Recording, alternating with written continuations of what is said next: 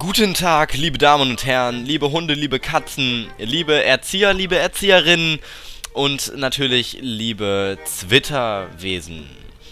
Hallo und herzlich willkommen zu einem neuen Black Ops 2 Commentary und heute natürlich wieder nicht live, weil ich in den letzten Tagen zwar hätte live aufnehmen können, weil ich hier eine Woche alleine bin, also von Sonntag bis Sonntag. Ihr werdet, ich, jetzt ist gerade Freitag, wo ich aufnehme, ich muss mich jetzt beeilen, weil in ungefähr 20 Minuten Kumpels kommen und ähm, ja, was wollte ich denn jetzt sagen? Genau, ich hätte natürlich jetzt Live-Commentaries aufnehmen können, außer mit richtig viel Gebrülle und richtig viel Freestyling, awesome Wapittiness, ne?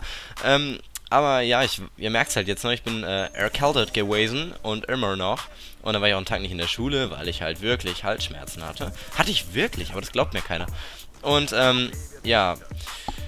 In der Zeit habe ich natürlich ähm, auch sehr viele konstruktive Sachen gemacht, wie zum Beispiel Lernen. Äh, ich habe ein Gedicht geschrieben, ein eigenes Liebeslied für meine äh, Katze, die ich noch nicht habe, aber wenn ich sie dann habe, dann mag sie das bestimmt. Und ähm, außerdem habe ich dann ein bisschen gezockt, aber auch wirklich nicht viel. Und ähm, ja, da ist so das eine oder andere Gameplay bei rumgekommen. Ich habe mich in den Gameplays dann immer wieder so gebessert. Also es fing an mit einem 79 zu 11, was eigentlich für mich schon ein Gameplay war, weil ich ja eigentlich nichts reiße in dem Scheißspiel. Ähm, und 11 Tode war da natürlich auch noch viel und da habe ich so gedacht, ja okay, erstes Gameplay, 80 Kills ungefähr. Und das war auch noch mit scheiß Killstreaks, muss man dazu sagen. Das war mit Blitzschlag, Heli und Escort-Drohne. Geht eigentlich, also locker klar. Und dann habe ich mich gesteigert. Kam nämlich das hier. Äh, Score werdet ihr am Ende sehen. Nice Tode, die ich bekomme, ha? Und zwar war das hier mit Blitzschlag, Escort-Drohne und Hunden erspielt. Natürlich wieder meine MP7-Klasse dabei, die ich auch bei meinem 100 Plus, was ihr ja gesehen habt, dabei hatte. Und ähm, ist wirklich ein nices Gameplay geworden, dafür, dass es am Anfang so scheiße war. Lief es am Ende eigentlich, also da ging es echt gut klar eigentlich. Und ich glaube, der lag da immer noch auf der Flagge und ich habe ihn einfach nicht gesehen. So, ein Mongo guckt nicht richtig hin, wenn er Halsschmerzen hat, Mensch. Naja, ähm, ja, so ging das dann halt weiter und dann kam es echt ganz dicke, dann kam 99,8 auf Aftermath ich hatte gerade wieder meine Killstreak, meinen Blitzschlag. Ich hätte locker ein 100 plus machen können. Aber naja, dann war leider das Zeitlimit. Ne, es war nicht mal das Zeitlimit vorbei. Da hätte ich noch 10 Sekunden gehabt. Da war einfach nur das, äh, ja, das Punktelimit erreicht.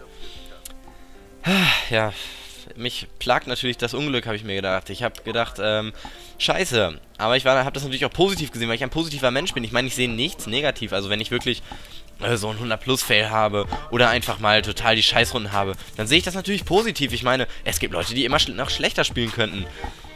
Eigentlich sehe ich das überhaupt nicht positiv. Ich meine, wenn es nicht läuft, dann quitte ich raus. Ich bin der Meister des Quittens. Ich habe eine Win-Lose-Ratio von 0,16. Also wirklich großartig, wirklich ähm, repräsentant für mich. Und auch wirklich ähm, eine Vorbildfunktion, die ich damit natürlich verkörpern will. Und ähm, hey, da hat es ja nur ein bisschen geleckt. Also nee, gar nicht so schlimm. Und ja, wo war ich denn jetzt? Hey, ja genau, dann kam es irgendwann abends, dann habe ich noch eine Runde gespielt, habe ich gesagt, so, hier, Meltdown Herrschaft, äh, gönnen wir uns jetzt nochmal eine Runde. Gönnen, Alter. Als sie damals auf dieses scheiß Wort gekommen sind, gönn dir, Junge, gönn dir. Ey, ich hab's gehasst und ich hasse es immer noch. Das hat letztens sogar meine Oma gesagt, aber ich glaube nicht, weil sie es von Facebook oder so kennt. Aber naja, ich schweife vom Thema ab. Und dann habe ich tatsächlich mein bestes Gameplay überhaupt erspielt. Äh, das war also in jedem Call of Duty mein bestes Gameplay von KD her und von den Kills, das jetzt auf äh, bodenlange Pferdschaft bezogen ist. Natürlich habe ich in Dings, wie hieß es damals, in der Sprengkommando, so heißt es immer noch, äh, deutlich mehr Kills gemacht, aber naja. Ihr werdet das übrigens als 10.000 Abo-Special sehen, die ich ja bald habe. Ähm, am besten, wie, wie schon im letzten Video gesagt, äh, teilt ihr es auf Facebook, auf Twitter und ähm, auf all diesen anderen tollen Seiten, die man äh, zum Teilen verwenden kann. Ähm, MySpace hat man da früher, glaube ich, auch für benutzt. Macht nur keiner mehr. Und wie auch immer, dann bekommt ihr das auch so schnell wie möglich zu sehen, das 10.000 Abo-Special. Ich brauche immer noch Ideen, weil ich, ich habe zwar so ein paar Ideen, aber die sind so standard und so lame. Und äh, ja, es sind nicht so die geilsten Ideen. Und von daher haut man noch ein bisschen was raus, wenn ihr noch was wisst. Und ja, dann kriegt ihr auch so ein richtig, richtig amazing Abo-Special zu sehen, ne?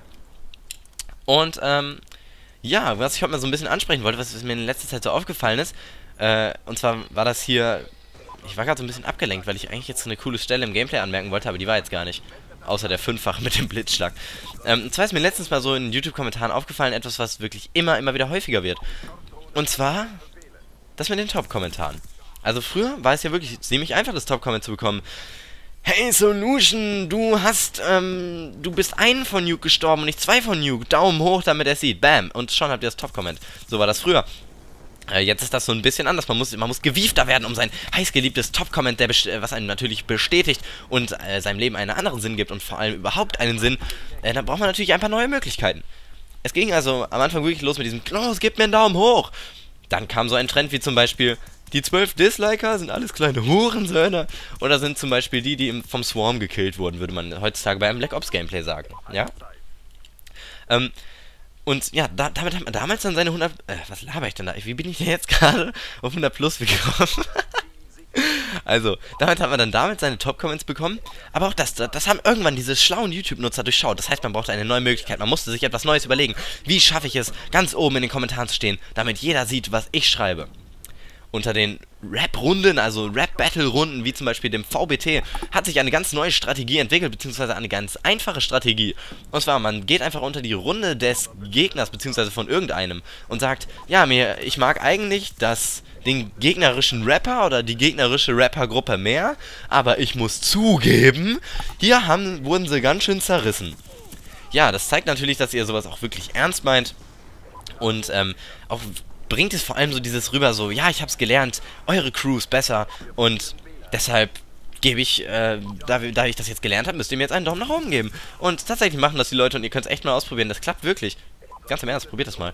Und, ähm, ja, also geht einfach mal unter so eine VBT-Runde und probiert das echt mal. Das wäre eigentlich ziemlich lustig, weil das immer klappt. Ähm, ja, so ging das dann weiter. Und es gab immer wieder neue Trends und ich kann die auch gar nicht alle aufzählen, aber der Trend, der jetzt gekommen ist, der, ja, da haut mich aus meinen frisch gekauften Ledersocken raus, ja. Die Leute machen sich irgendwelche Accounts von irgendwelchen berühmten Personen. Übrigens, diese Haze-Leute habe ich davor total zerstört, deshalb laden die mich die ganze Zeit ein. Ähm, ja, man, man nimmt sich den Namen von irgendeiner Persönlichkeit, die relativ bekannt ist. Äh, ein gutes Beispiel dafür ist Adolf Hitler, Jesus, Angela Merkel, Anders Breivik und ähm, irgendwelche Terroristen. Und ähm, ja, damit schreibt man dann einfach so richtig originelle Kommentare, wie zum Beispiel als Angela Merkel, ja, sowas würde ich gerne mal bei mir in der Bundesregierung sehen, dass man da auch mal mit so viel Elan rangehen würde. Und ähm, ja, sowas kriegt dann sofort das Top-Comment. Noch besser wird es dann, wenn äh, Christian... Christian? der Herr Wulff dann darauf antworten würde, so, ja, Angela, mit mir hättest du den Elan gehabt. Ja, aber du bist ein kleines Arschloch, sagt dann Angela. Und ja, dann habt ihr so eine ganz, ganz, ganz langweilige Reimkette und, ähm, ja, das ist wirklich eine ganz beliebte Taktik, die auch wirklich funktioniert heutzutage. Ihr könnt es echt mal ausprobieren, euch so einen tollen Namen machen. Und da, ah, ah, ah, den einen habe ich noch. Und dann nein, oh, kommt der andere. Oh, schade. Und, ähm, ja, also das ist wirklich eine Sache, oder, ja, ich frage mich ganz ehrlich, warum, warum das die ganze Zeit, also wie, warum etwas so zu einem Trend wird, sich Daumen hoch so zu ergattern. Und was aus diesen normalen Kommentaren, wie zum Beispiel, hey, gutes Video. Und dann kriegt das einen Daumen hoch. Beziehungsweise ganz, ganz viele Daumen hoch wieso das äh, so kaum noch gemacht wird, beziehungsweise das kaum noch äh, beachtet wird und diese Leute kaum noch gewürdigt werden, die so nette Kommentare schreiben. Und, ähm, also ich finde, ich finde das natürlich ganz am Anfang, fand ich das echt lustig, so mit diesen, äh, mit Angela Merkel, Anders Breivik, die haben sich immer ganz tolle Antworten gemacht. Oder auch äh, mit Stalin oder so, das ist also echt eine super Sache. Und am Anfang, da findet man sowas auch wirklich lustig. Und das ist eigentlich bei jedem äh, Daumen hoch Trend so. Also, Sorry, ich bin immer noch so ein bisschen verschnupft. Da muss ich einmal kurz die Rotze hochziehen, die mir dann ins Gehirn kriecht und mich dann irgendwann sterben lässt. Ähm, genau so. Und, und ja, es ist... Äh, lassen sich die Leute immer wieder neue Sachen einfallen. Das findet man dann lustig. Und beim ersten, ersten paar Male gibt man dann echt einen Daumen hoch, weil ich meine, oh, oh, was würde Tesco jetzt schreien? Genau. Quad. Quad. Ähm, ja, man lässt sich immer wieder neue Sachen einfallen, es kommt immer wieder neu an, aber irgendwann wird es dann langweilig. Und ähm, dann, wenn langweilige Sachen kommen, kommen die Leute mit noch langweiligeren. Warum war er da AFK und kommt dann wieder, wenn ich äh, da ankomme? Und dann kommen die mit noch langweiligeren Sachen, wie zum Beispiel, ähm, schreibt einer so einen Kommentar, so ein typisches Daumen hoch Kommentar und er schreibt so, links neben der Leertaste. Links neben der Leertaste steht alt, um ihm zu demonstrieren, dass der Spruch alt ist. Der Spruch links neben der Leertaste ist allerdings auch alt, womit er sich irgendwie selbst in den äh, Anus gebumst hat. Aber hey, darüber machen sich die Leute ja keine Gedanken und irgendwie ist es immer lustig, so sich die Top-Comments anzusehen. Also ohne Top-Comments fände ich so YouTube-Videos immer langweiliger, weil ich echt ähm, mir oft auf, einfach auf so ein Video gehe und mir die Top-Comments anschaue, weil das eigentlich immer ziemlich interessant anzusehen ist.